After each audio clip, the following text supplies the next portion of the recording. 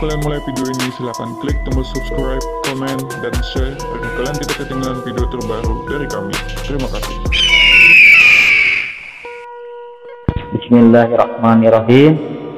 Salam penyejuk iman untuk saudaraku semua. Kasiat atau fadilah dari Asma Pamungkas.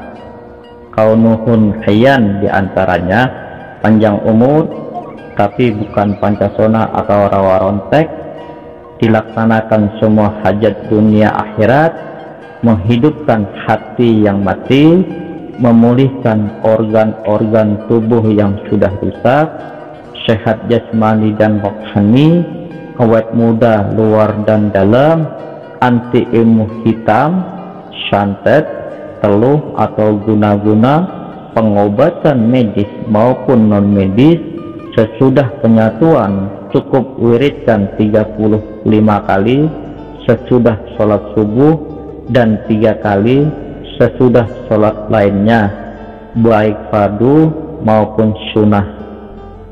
Dan admin himbau bagi anda yang mau mengamalkan keilmuan ini silahkan ketik mobil tuh di kolom komentar di bawah video ini serta dukung selalu channel ini dengan cara like dan klik subscribe serta klik juga loncengnya agar Anda mendapat pemberitahuan update video terbaru dari channel ini.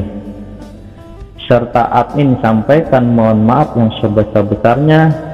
Jika komentar Anda di video-video sebelumnya belum bisa admin balas satu persatu karena ada kesibukan lainnya admin harap Anda semua bisa memakluminya.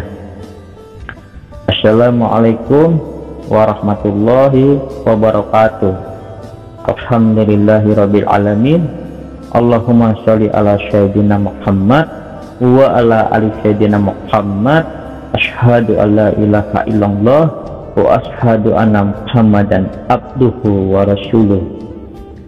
Salam persaudaraan tanpa batas untuk para penggemar setia channel Andi Jenudin apa kabar sahabatku semua admin harap kita semua selalu dalam keadaan sehat dan berjaya. Serta semoga kita semua selalu dalam lindungan Allah subhanahu wa ta'ala. Amin ya rabbal alamin. Alhamdulillah pada hari ini admin akan men-share setitik ilmu dari Allah yaitu asma pamungkas kaunuhu hayyan dari Nabi Khidir alaihissalam yang fadilahnya sangat dahsyat setelah Anda aktifkan. Serta tak lupa admin mengucapkan banyak terima kasih kepada Anda atas keikhlasannya untuk berlangganan di channel ini. Semoga keikhlasan dan ketulusan Anda dibalas kebaikan sama Allah Subhanahu wa taala. Amin ya robbal alamin. Dan jika Anda suka dengan video ini, silahkan di like dan di share video ini agar saudara kita yang lainnya bisa mengamalkan keilmuan ini karena berbagi informasi yang bermanfaat itu sungguh mulia. Insya Allah dengan Anda berlangganan di channel ini maka Anda akan mendapatkan banyak keilmuan secara gratis dan tentunya yang bermanfaat baik untuk diri sendiri maupun untuk kepentingan orang lain orang yang berilmu atau orang yang memiliki pemahaman dengan ilmu-ilmu Allah bisa menjadikan sebab orang tersebut akan bisa bermanfaat untuk orang lain karena sudah menjadi kewajiban kita antar sesama untuk menyampaikan sesuatu yang dimiliki walaupun satu ayat. Asma Pamungkas Kaunuhu Hayyan dari Nabi Khidir alaihissalam langkah yang pertama yang harus dilakukan Anda harus persiapkan bahan-bahannya terlebih dahulu. Antara lain madu asli minyak misik dan jafaron air hujan yang ditampung secara langsung dan kertas putih polos untuk menulis rajah daripada asma pamungkas kaunuhu hayan itu sendiri kemudian anda ambil air wudhu terlebih dahulu, lalu dirikan sholat isya pada malam Jumat. Setelah selesai, disambung sholat hajat dua rakaat. Kemudian baru Anda menulis rajahnya menggunakan tinta jafaron dicampur misik. Tapi sebelumnya Anda bertawasulan atau kirim Al-Fatihah macam di bawah ini.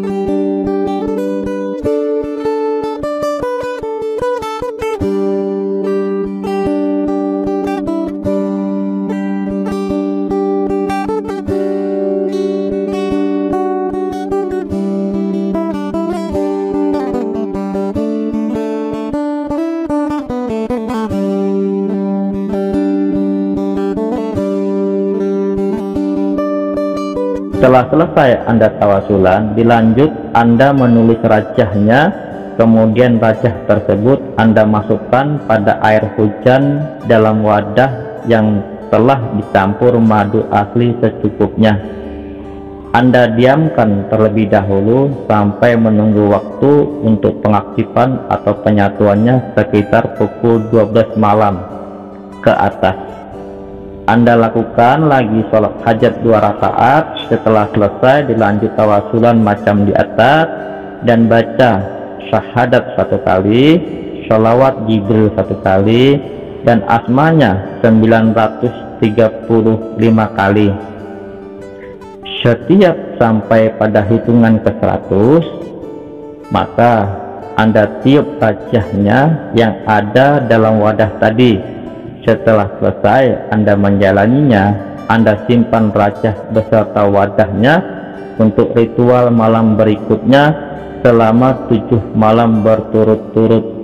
Jadi, Anda lakukan pengaktifan ini selama tujuh malam berturut-turut tanpa ada yang putus. Anda lakukan cara yang sama, jam yang sama selama tujuh malam full dan yang malam terakhir sesudah Anda ritual air yang di wadah tadi Anda minum sampai habis dan rajahnya Anda tanam di bawah pohon yang berbuah. Bisa pohon mangga atau pohon durian dan lain sebagainya yang intinya pada saat itu pohonnya dalam kondisi berbuah. Aplikasi penggunaan dari asma pamungkas kaunuhu hayyan dari Nabi Khidir alaihissalam apabila ada orang sakit yang sangat berat tetapi penyakitnya tidak diketahui baik oleh medis maupun non medis contohnya paranormal tidak ditahu itu penyakit apa. Maka langkah untuk mensyarati dengan cara anda tulislah rajahnya menggunakan tinta jafaron, campur misik, boleh misik putih atau misik hitam. Kemudian masukkan rajah tersebut pada air biasa atau air hujan, boleh juga air jam-jam jika ada. Kemudian dicampur madu asli secukupnya. Lalu Anda bacakan asmanya sebanyak 35 kali setelah selesai, air tadi Anda minumkan pada pasien yang sakit tadi. Cara ini bisa dilakukan untuk penyakit medis maupun non-medis.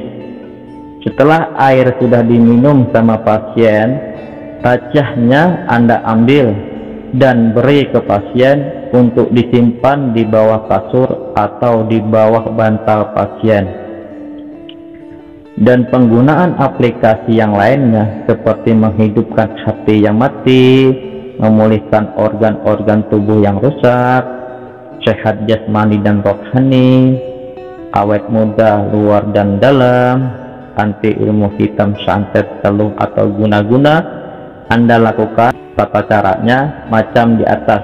Insya Allah setelah Anda aktifkan dan asma menyatu di tubuh Anda, maka akan ada sendiri kabar gaibnya tentang tata cara aplikasinya. Pada saat menjalani, baik penyatuan dan aplikasinya harus fokus penuh dengan kesabaran dan keyakinan karena untuk mencapai sesuatu tujuan sudah tentu akan banyak cobaannya. Admin rasa penjabaran tentang asma pamungkas kaunuhu hayyan dari Nabi Hidir alaihissalam cukup jelas dan semua keberhasilan dari keilmuan ini tergantung pada tekad dan niat Anda sendiri karena setiap orang itu berbeda-beda keyakinannya. Dan syarat penyambung pengijazahan Asma Pamungkas kaunuhu hayyan cukup Anda ikhlas klik subscribe di bawah video ini dan nyalakan juga lonceng notifikasinya agar Anda orang pertama yang mendapat pemberitahuan notifikasi update video terbaru dari channel ini.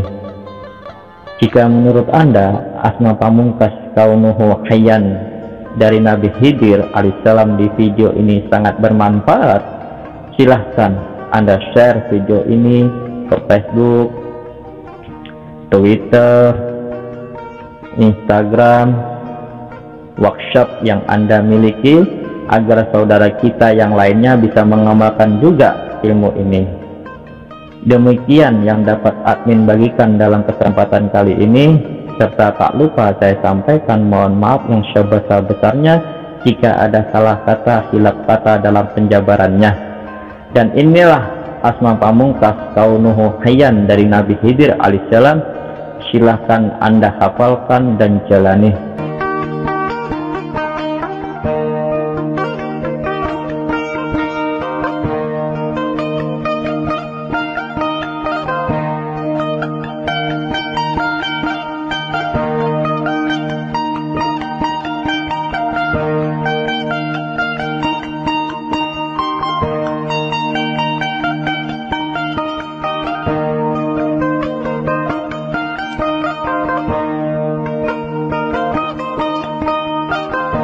Dan inilah raja yang harus Anda tulis di kertas putih